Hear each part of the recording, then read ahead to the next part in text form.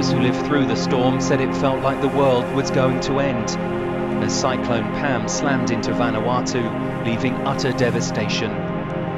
The big concern now is for people in remote islands from where nothing has been heard. It's absolutely critical that we can make contact as soon as possible so that we can really get an idea of the of the sense of the devastation that these um, outer island communities will have faced. We can only assume um,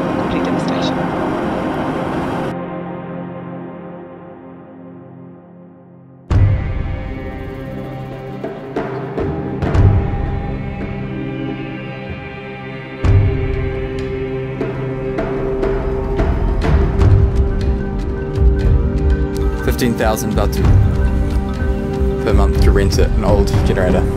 Poor.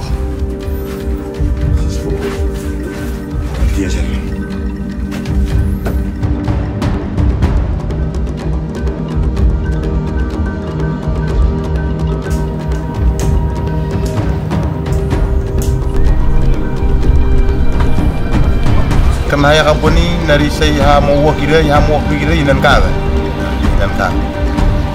一边干。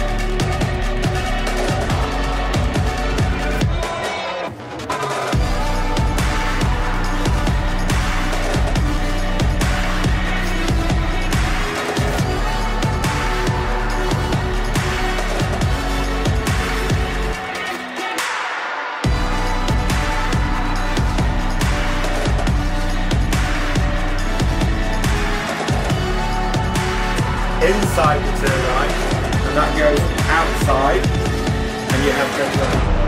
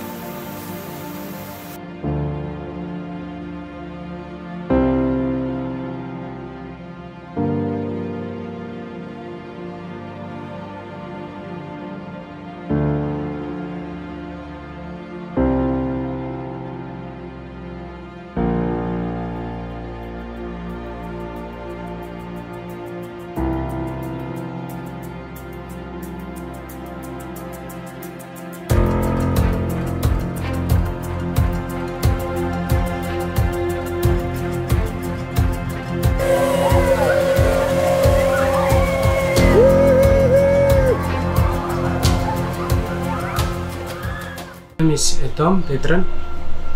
I'm from Mimaki and I'm uh, working in the dispensary. And uh, I'm very, I'm so fortunate to have uh, this life to help me and provide better care to my patients. Thank you very much.